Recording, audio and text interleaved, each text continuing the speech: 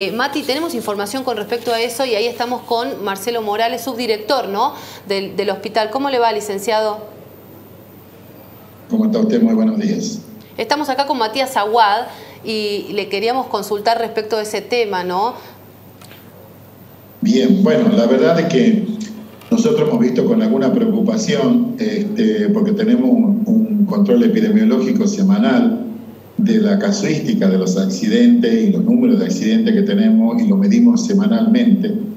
Y hemos visto que durante la realización de los partidos aumentan los accidentes de tránsito por los pacientes ingresados a nuestro servicio de emergencia. Eh, no sé si usted tiene un gráfico que yo le pasé ahí. Lo tenemos, a ver si lo podemos ir mostrando. Yo lo puedo compartir también. Sí. Ya lo ponemos nosotros desde acá, pero me gustaría que podamos resumir eh, un, o, o, por, o por lo menos contar Por ejemplo, el, porcentaje. Le puedo dar datos, cómo, se ha, cómo ha sido la cronología en los cinco partidos, digamos. ¿no? A ver. Eh, en el primer partido, por ejemplo, hubo un aumento del 27% de accidentes en relación a los miércoles anteriores. ¿ves? Ahí se lo puede ver. Sí. En el segundo partido no hubo aumento. En el tercer partido hubo un aumento del 70%, lo cual nos ha preocupado bastante. En el cuarto partido un aumento del 100% Mucho. y en el quinto partido un aumento del 140%.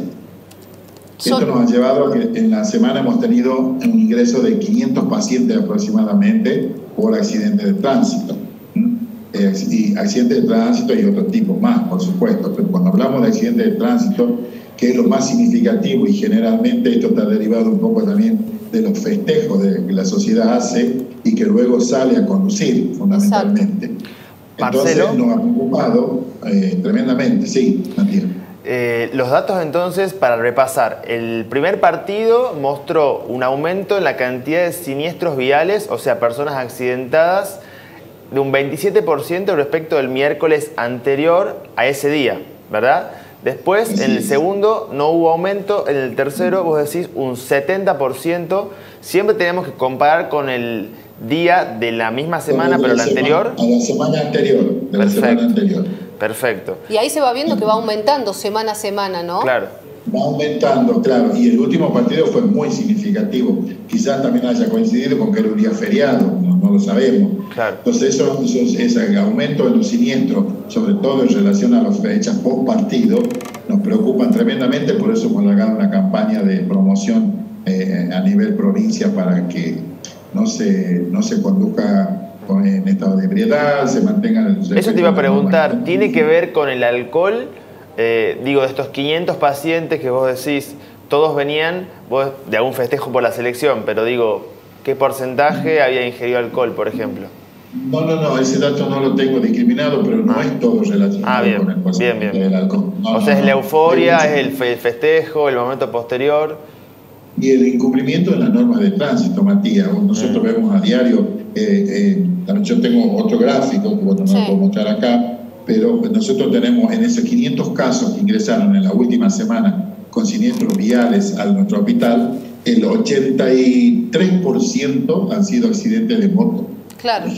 Se mantiene ese parámetro, ¿no? Se mantiene, sí, Sí. oscila siempre entre un 70, un 80, 85%. Licenciado, y le pregunto, con respecto a estos ingresos eh, en el hospital post partido, ¿hubo algunos con complicaciones cardíacas, con problemas que hayan significado este, algún, digo, por el sobresalto, por el nivel también ¿no? de, de euforia que se ha vivido en los últimos encuentros, sobre todo este último? No, no, no lo podemos No identificar que así es así. No, no hemos tenido ninguno que se lo identifique como tal. Claro. Pero bueno, tenemos nosotros, no se olvide que tenemos una unidad neurocardiovascular donde ingresa paciente con patologías cardíacas y neurológicas. Y eso es constante, es una constante, digamos, ¿no? Teniendo en cuenta que mañana va a haber un nuevo partido, la recomendación de ustedes como médicos, como especialistas, ¿cuál es? La, recom- la recomendación es que cuando termine o finalice el partido, las personas conduzcan con normalidad si lo tienen que hacer. Si han ingerido bebidas alcohólicas, no conduzcan. Siempre acudir a un conductor responsable.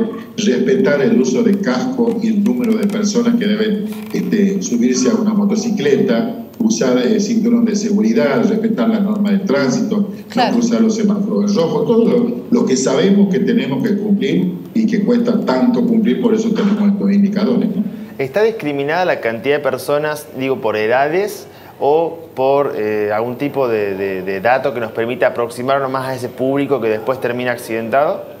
Bueno, el, siempre el promedio ronda entre los 19 eh, y 18 y 33 años. Claro, gente joven. es el promedio que, siempre este, oscila en todas las semanas. Licenciado, lo queríamos eh, cambiar de tema y hablar justamente de esta información que acaba